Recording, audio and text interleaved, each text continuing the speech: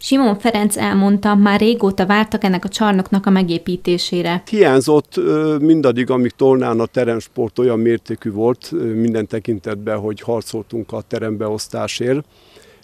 Akkor úgy megfogalmazott bennünk, hogy milyen jó lenne egy saját csarnok, de nyilván erről még álmodni se merhetünk. Az, hogy ebből most valóság lehet, ez, ez két éve indult el amikor a Magyar Labdarúgó Szövetség futszál szakágvezetőjével a női futszal dolgait tárgyaltuk ki, és akkor említette meg, hogy az MLS-nek ez a projektje rövidesen elindul.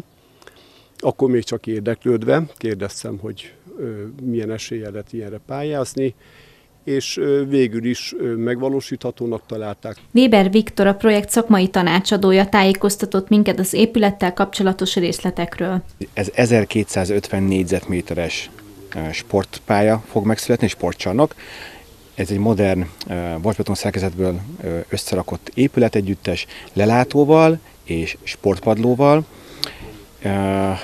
Igyekeztünk a mai kornak megfelelően mindenfajta környezetudatos elemet is beépíteni, tehát hőszivattyús és napelemes rendszer is el fogjuk látni a csarnokot. Appelszoffer Ágnes, a város polgármestere szerint a tolnaiak életében meghatározó a sport. Számos területen jeleskednek. Sok sportlétesítmény van a városban, de nem elég. Tehát mindig, amikor, amikor valami új épül, akkor, akkor mindig az is megtelik élettel és megtelik sportolókkal.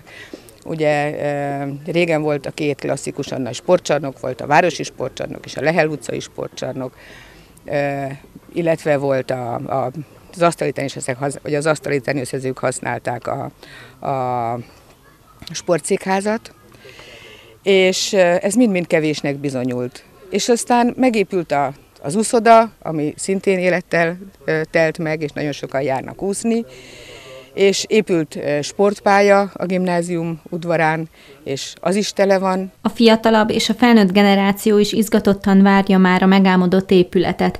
Reményeik szerint a következő verseny évadra a felkészülés már ott fog zajlani.